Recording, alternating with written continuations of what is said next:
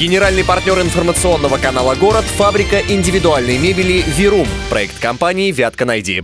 Готовое интерьерное решение без наценок – философия компании Virum. Наши технические возможности позволяют воплощать ваши идеи. Лепсия 12, телефон 69 400, без выходных.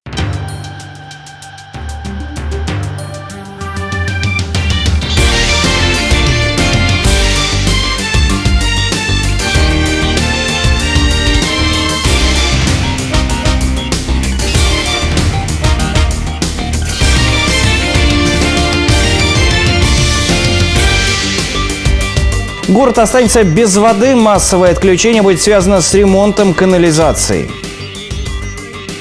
Постройки спорткомплекса на территории сквера у Дворца пионеров появляются новые опасения. Инвестор банкрот, а каркас будущего здания уже чем-то напомнил большой торговый центр. Цены вновь вырастут. В этом году за молоко и хлеб кировчанам придется платить больше. Об этом сегодня заявил заместитель председателя правительства Кировской области Алексей Котлячков. Авиакомпании «Победа» удалось согласовать расписание летних полетов с Кировским Победилово. Рейсы в Санкт-Петербург отменяются на все лето. Трудно понять, легко догадаться.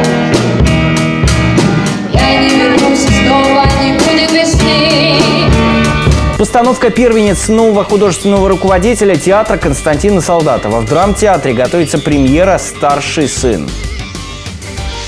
О главных событиях вторника, 22 марта, расскажет информационный канал «Город» в студии Артем Паникаровских. Здравствуйте. Что все-таки появится в сквере у Дворца пионеров? В постройке спорткомплекса на территории у кировчан появляется новое опасение. На днях застройщик объявил, что работы приостановлены, а уже после группа активных жителей района нашла документы, в которых компанию застройщика арбитражный суд Москвы признал банкротом. Все бы ничего, но этап, на котором приостановилось строительство и статус земли, где уже стоит каркас будущего здания, чем-то напомнили кировчанам о большом торговом центре – Подробности в сюжете. Взыскивание задолженности в размере 4 миллиона 100 тысяч рублей и неустойки 695 тысяч рублей. Это официальное решение арбитражного суда Москвы касаемо проекта Ледового дворца в Кирове. Его основатель группы компании «Коперник» Александр Сенаторов планировал построить рядом с нынешней стройкой спорткомплекса. Да, по всей видимости, так и не расплатился с проектной организацией. Решение 19 сентября 2014 года о том, что инвестиционная группа «Коперник» признана банкротом. Житель района Дворца пионеров Матвей Мамаев нашел эти документы в открытом доступе сразу после того, как услышал в СМИ от самого Сенаторова, что этим спортивным стройкам на самом деле ничего не угрожает. Матвей добавляет, как минимум со сроками окончания ничего не понятно. Последняя цифра года на информдоске уже затерта. И основной вид деятельности обозначен как э, сдача в наем собственного недвижимого имущества. То есть, э, по сути, под понятие торговый центр, в принципе, все полностью подходит. Эти опасения местные жители, напоминает Матвей, высказывали еще в 2012 году, когда о стройке спортивного комплекса и Ледового дворца говорили еще только в будущем времени. Но тогда же позицию правительства объяснил общественности Никита Белых. Если ориентироваться на то, что все, что связано с э, теми услугами, которые э, должно оказывать государство, само государство и будет э, строить, да, вот эта ситуация, там, и чтец, и жнец, там, значит, и на дуде, и грец, да, у нас никаких денег не хватит, да. В это время в Кирове продолжали высказывать недоверие к застройщику сначала сборами подписей. Может и не поможет, но если ничего не делать, то все это отдадут под коммерческую застройку. Нарушенные коммуникации вылились даже в перекрытие дороги для спецтехники. Ой! История народного сопротивления за территорию сквера у Дворца пионеров в какой-то момент превратилась в четко выверенную стратегию борьбы интересов, причем как стороны защиты сквера, так и стороны застройки. Инвестор изначально планировал построить на углу Некрасова и Попова не только спорткомплекс, еще и ледовый дворец по соседству. В том же 2012 году актив местных жителей принимает решение собрать деньги и оборудовать футбольное поле, которое зимой превращается в каток и скамейки, как раз на том месте. Немного позже там появляется общий общедоступные тренажеры. Примечательно, что границы потенциального ледового дворца они не нарушают. В 2014-м уже ближе к перекрестку Калинина-Попова другой частный инвестор объявляет о желании построить большое и полноценное футбольное поле со всеми вытекающими удобствами. Но в тот же год актив жителей принимает решение строить, нарушая границы намерений инвестора, яблоневую рощу, которую подсаживает еще и в 2015-м, как бы демонстрируя свой взгляд на развитие этой территории. Несмотря на то, что срок аренды территории по некоторым данным истекает в мае 2016 года, Александр Сенаторов и сейчас не отказывается от продолжения строительства обещанного спорткомплекса. Причем и о будущем Ледовом дворце тоже ведет речь. Мы вернемся к вопросу Ледового дворца, но сначала нужно разобраться с этим. После того, как мы посмотрим этот спортивный центр, я надеюсь, что это случится в ближайшем разумном времени, мы сядем, проанализируем ошибки, победы, скорректируем стратегию. Несмотря на достаточно внятные заверения господина Сенаторова о том, что все обязательно будет хорошо, причем не только со строительством этого спорткомплекса, но и э, Ледового дворца, который изначально планировалось разместить как раз вот на этом месте. Но активисты делают акцент на том, на каком именно этапе приостановлено строительство. Говорят, сейчас это как снег, из которого лепи что хочешь. К примеру, торговый центр или что-то другое не менее коммерческое. Присвоенный статус позволяет. Тут зона разрешенного строительства R9, она подразумевает до 40, даже до 60% коммерческой недвижимости, и только 40% из них может приходиться на спортивную составляющую. Но спортивная составляющая даже может и фитнес-зал быть, и условно сауна, и ну, все что угодно. И, соответственно, есть большие опасения, что из этого здания в итоге может вырасти не спортивный комплекс, как обещалось изначально, а торговый центр. А пока за изначальной территорией Терраспорт вопрос открыт, с активом жителей района в областном правительстве уже ведут переговоры по благоустройству благоустройству всей стальной части сквера. Недавно сделали новое освещение и запланировали строительство полноценной и освещенной лыжной трассы на 2 километра, но то на месте когда-то запланированного футбольного стадиона. Артем Паникоровских, Максим Скочилов, информационный канал «Город». Все на субботник. Администрация готовится к весенней уборке города. Сегодня презентовали и новую концепцию его украшений. Судя по планам, Киров будет утопать в цветах. Правда, пока кировчан больше волнует а, нынешнее положение дел, к примеру, несанкционированная свалка в районе Метроград. Как утверждают местные жители, снег и грязь в новый микрорайон свозят из города. На спецмашинах нет никаких опознавательных знаков. Кто принял решение сваливать снежные массы в 100 метрах от домов, не знает даже в местной управляющей компании. Сами жители опускать руки не собираются и уже готовят обращение в прокуратуру и администрацию города. Власти, в свою очередь, сегодня определили даты общегородских субботников. Это 23-30 апреля и 7 мая. Всех желающих мы приглашаем в территориальное управление. Будет организована э, выдача инвентаря и вывоз мусора. Сегодня же глава администрации рассказала об оформлении города этим летом. Город украсят цветниками и клумбами. Их общая площадь составит 10 тысяч квадратных метров, что в два раза больше, чем в прошлом году. В планах городских властей также отремонтировать фасады зданий в исторической части города, продолжить благоустройство сквера на Комсомольской площади и установить новые фонтаны. Они появятся в Кочеровском парке и на площади Победы в Нововятске.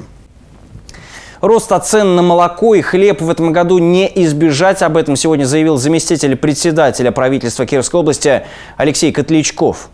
Стоимость продукции будет напрямую зависеть от инфляции, роста цен на обслуживающую технику. На стоимости товаров непременно скажется и подорожание бензина, запчастей и сырья, а также повышение зарплаты фермерам.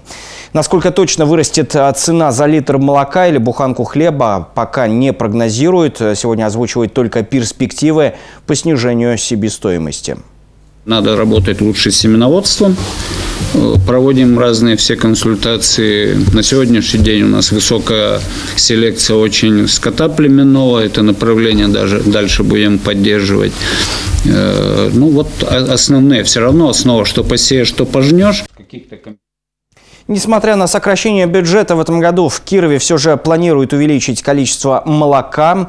Также власти надеются на реализацию проекта по производству сыров. Сегодня ведутся переговоры с итальянскими бизнесменами. Изначально запуск завода был намечен на 2011 год. В 2013 предприятие должно было заработать на полную мощность, однако из-за введения санкций после присоединения Крыма Ситуация резко изменилась. По предварительным данным, встреча бизнесменов из Италии запланирована на май этого года.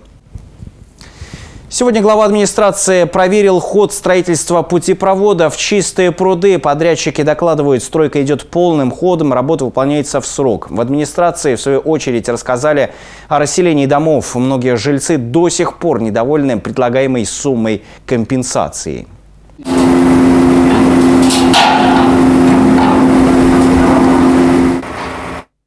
Глава администрации дал четкое указание не прекращать работы ни на минуту. Несмотря на кризис, объект финансируется в полном объеме. Уже установлены опоры путепровода. На стройплощадку завезены необходимые металлоконструкции. Их монтаж начнут на следующей неделе. Сдвинуть сроки могут проблемы с расселением домов на пути строительства. С жильцами дома 101 по улице Комсомольской власти до сих пор не могут договориться. 14 собственников отказываются выселяться добровольно а размер компенсации за жилье они считают несправедливым. Администрация за квадратный метр предлагает 30-35 тысяч рублей, то есть за трехкомнатную квартиру всего около полутора миллионов. Власти поясняют, большую сумму собственникам предложить не могут и уже готовят исковые заявления в суд. Один человек получил травмы в ДТП на железнодорожном переезде в Воричевском районе. Там столкнулись Мазда и грузовой поезд. Подробности в рубрике «Место происшествия». После удара железнодорожный состав полностью смял у иномарки правую часть кузова. К счастью, на пассажирском сидении в момент ДТП никого не было. 43-летний военнослужащий, управляя автомашиной «Мазда», по предварительным данным отвлекся от управления и выехал на железнодорожный переезд на запрещающий сигнал светофора, где произошло столкновение с грузовым составом, который направлялся из Нижнего Новгорода в областной центр. В результате происшествия водитель Мазды получил незначительные травмы и после оказания медицинской помощи был отпущен домой. Кировский областной суд направлено уголовное дело в отношении Абуднинского стрелка Николая Черных. 20 мая прошлого года он застрелил из ружья своих соседей супружескую пару из поселка Метрострой. По словам обвиняемого, убийство он совершил из-за собаки, которую погибшие якобы убили. На днях следователи обнародовали съемки следственного эксперимента. Зашел до сюда, он остановился. Я сказал, вы зачем мою собаку убили? Я вам тумана не прощу. Они оба сказали, я не, мы не убивали. Я говорю, вы врете. И выстрелили. Сейчас уголовное дело передано в областной суд. Николаю Черных грозит до 20 лет лишения свободы. Сотрудники полиции, следственные комитеты и бойцы СОБРа навестили сеть игровых залов в Кирове. Нелегальные заведения работали на улицах Карла Маркса и Воровского. Персонал заведений сразу догадался, к ним пришли отнюдь не любители азартных игр, поэтому людям в масках и форме двери никто не открыл. Сейчас следователи возбудили уголовное дело по статье «Незаконные организации и проведение азартных игр». Подозреваемый находится под подпиской о невыезде. Необычным способом боролся с повышением цен на бензин водитель BMW пятой серии. Он с приятелем, по словам очевидцев, на своей недешевой иномарке ездил по дворам и сливал дорогое топливо с чужих автомобилей. Их заметили, а потом и попытались остановить сотрудники вневедомственной охраны. Однако водитель попытался от них уехать. Надо сказать, гонки длились долго. Началась погоня на улице Казанской, а закончилась на улице Горбуновой. Зовут? Максим Андреевич. Хорошо, меня Павел зовут. А чей бензин у вас в машине? Не могу знать. В салоне, в Не в багажнике? знаю, не знаю. Не сливали ничего? Сливали. Сливали? Да. Не отрицаю. Понятно, для продажи, для себя? Для себя. Сейчас за хищение бензина приятелям грозит уголовная ответственность. Отвечать придется и за дорожные нарушения. Впереди вас ждет короткая реклама, она пройдет быстро, не переключайтесь и смотрите сразу после нее. Город останется без воды, массовое отключение будет связано с ремонтом канализации. Авиакомпании «Победа» удалось согласовать расписание летних полетов с Кировским Победилово. Рейсы в Санкт-Петербург отменяются на все лето. Трудно понять, легко догадаться.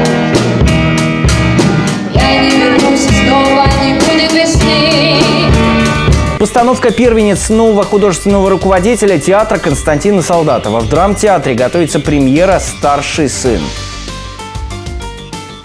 Эти и другие новости уже через несколько минут.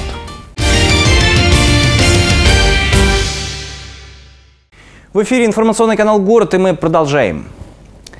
Новое расписание, новые цены. Компания «Победа» согласовала с Кировским аэропортом летнее расписание. Летать Боинги будут в Москву, Санкт-Петербург и Сочи. Однако обновленное расписание и стоимость билетов скорее не обрадуют кировчан. Летние тарифы «Победы» приблизились к ценам обычных авиакомпаний. С 28 мая по 19 сентября меняется расписание полетов в Москву. Теперь прибывать в столицу самолеты будут после полуночи в 0 часов 15 минут. Выросла и стоимость билетов. Теперь за поездку в одну сторону кировчане заплатят не меньше двух с половиной тысяч рублей. Ночные рейсы открыты в Санкт-Петербург и Сочи. Правда, в северную столицу улететь на Боинге компании можно будет лишь до конца мая. После полеты возобновятся уже в сентябре. Минимальная стоимость перелета около 3000 рублей. Что касается цены билетов в Сочи, то она варьируется от 7 до 10 тысяч. Причем в стоимость тарифа не включена перевозка багажа и ручной клади. В зависимости от веса начальная стоимость билета может подскочить сразу на 4000 рублей. Кировчане останутся без воды. Засуха наступит в восьми районах города в ночь со среды на четверг. Подробности далее. Наш эфир продолжает рубрика «Короткой строкой». В ночь со среды на четверг, 24 марта, несколько районов города останется без воды. В связи с ремонтом канализации с 12 ночи до 5 утра будут остановлены все насосные станции. Водоснабжения не будет в центре города, микрорайоне Красный Химик, Красная Звезда, Красная Горка, на юго-западе Лепси, Филейки и ОЦМ. Кировчан просят сделать запасы воды. 26 марта в Кирово-Чепецке состоится официальное открытие лыжно-биатлонного комплекса «Перекоп». Спортивный объект вмещает тысячу зрителей и 300 спортсменов. Кроме восьми трасс там находится тир, кабины для смазки лыж и трибуны. Напомним, на его строительство ушло 370 миллионов рублей. 29 марта в Кирове пройдет прямая линия с Владимиром Быковым. В этот день кировчане вновь смогут задать свои вопросы главе города. На сегодняшний день на официальном сайте мэрии поступило уже больше 50 обращений. Кинофестиваль «10 вечеров» прекращает свое существование. По словам активистов, место, где проводились показы, теперь занято скульптурами. Переносить проект посчитали неуместным. Напомним, за пять лет кировчане познакомились с испанским, немецким, французским, итальянским и польским кинематографом. Планировалось, что в этом году фестиваль посвятят российскому кино. Кировские активисты собирают деньги на строительство новой детской площадки в парке ЛПК в Нововятске. Ребята уже выиграли грант на 2 миллиона рублей по программе местных инициатив. Осталось собрать еще 280 тысяч. Подробную информацию и реквизиты можно посмотреть на сайте, который вы видите на своих экранах. Благотворительный фонд «Доброе дело» запускает акцию в помощь домам ребенка. Все неравнодушные кировчане могут принести памперсы и предметы личной гигиены для малышей на Пятницкую 2 в офис 31. После долгого затишья Кировский драматический театр готовит сразу несколько громких премьер. Уже в эти выходные зрителей ждет «Старший сын», постановка «Первенец» нового художественного руководителя театра Константина Солдатова. Ради премьеры сцену театра буквально разобрали по доскам, расчистили пространство и убрали все лишнее. А вот актеры взяли в руки музыкальные инструменты. Настоящее театральное перевоплощение в материале Юлии Косолаповой. Трудно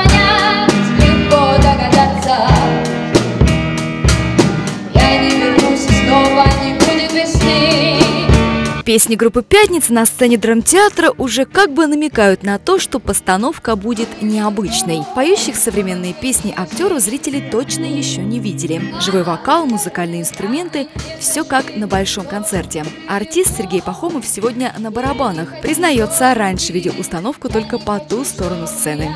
Я умею играть на фано, умею играть на нервах, а на барабанах не умею. Вот ритм держать научился. Новое достижение у меня. Времени, ну, если все вместе собрать, наверное, недели две, но м, приглашали а, специального профессионального барабанщика, который занимался 15 лет. Он мне дал, конечно, массу информации, которую, в принципе, за одну репетицию я должен был освоить. Ну, а потом сам уже нарабатывал, дома нарабатывал на кастрюльках, на коробочках, сидел, соединял руки, ноги. Песня «Весна» прозвучит лишь в конце новой постановки. Но музыки на протяжении всего спектакля будет много. «Старший сын» – это пьеса советского драматурга Александра Вампилова. Она была написана еще в 1967 году. Через шесть лет после этого произведения сняли фильм. Сам Вампилов скончался за 4 года до выхода картины. Ему было всего 34 года. Это история человека, прошедшего войну, который отказался от карьеры ради музыки. Главные роли исполнили Евгений Леонов и Николай Караченцев.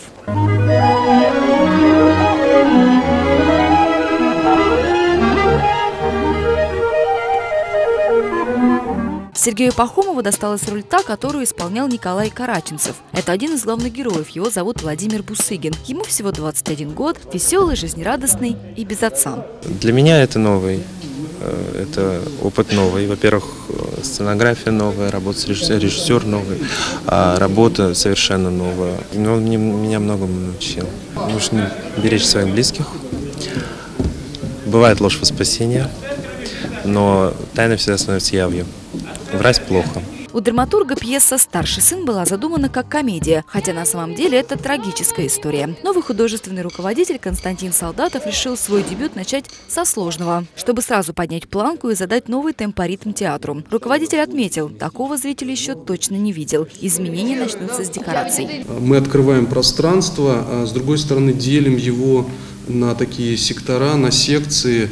А, Они, а, вот это пространство разделено дорогами. Это как, а, это как рельсы, это как а, клавиши. Музыки в постановке будет много, и вся она авторская. Ее сочинил Евгений Шишкин, осветитель Кировского драматического театра. До премьеры остаются буквально считанные дни. Она назначена на 25 марта. Сейчас в самом театре идет глобальная подготовка. Сцену буквально разбирают по доскам, чтобы открыть как можно больше пространства. Эту сцену ждет еще много перестановок и метаморфоз. Уже через три недели здесь будет все совершенно по-другому. А именно космическая атмосфера и мультимедийные установки. Ведь к выпуску готовится еще одна премьера. Джульетта выжила.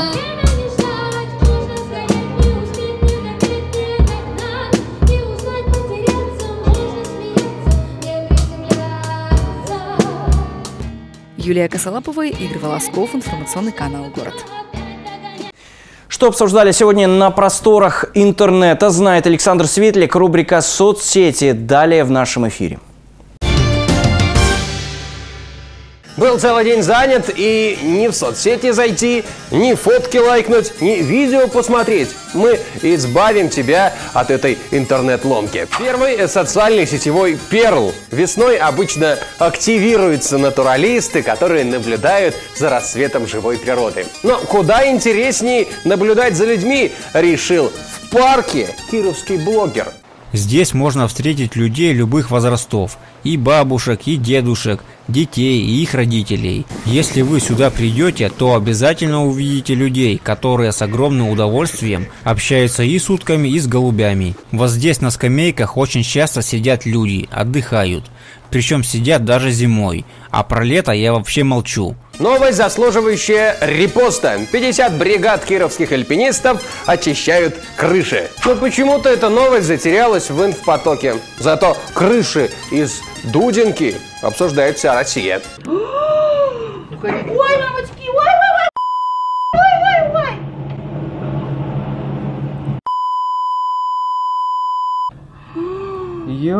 Боже мой! И на магазины, главное, смотри, не попало. Если учитывать, что интернет-провайдеры устанавливают свои тарелки на крышах, то тут в прямом смысле упал интернет. Кстати, об интернете. Совсем скоро в кировских автобусах может появиться бесплатный Wi-Fi, поэтому теперь вместо городских пейзажей вы можете наблюдать э, прикольные видео из интернета, как, например, следующий ролик. Он набирает тысячи лайков и называется «Когда решил посмеяться за компанию».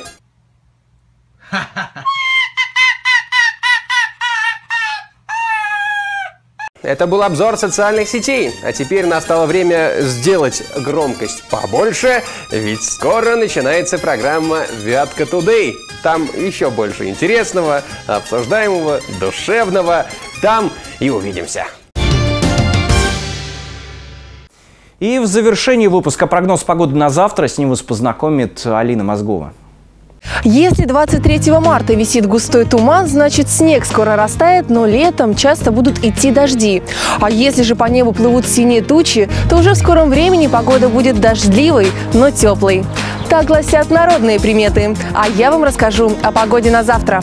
23 марта в Кирове ожидается пасмурная погода и небольшой снег. Температура воздуха днем минус 2, ночью минус 10 градусов. Ветер восточный 2 метра в секунду. Атмосферное давление составит 743 миллиметра ртутного столба. Удачной вам среды!